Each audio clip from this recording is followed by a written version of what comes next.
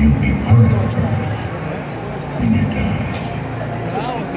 You are responsible. Earth is good. You got to go with Earth. Maybe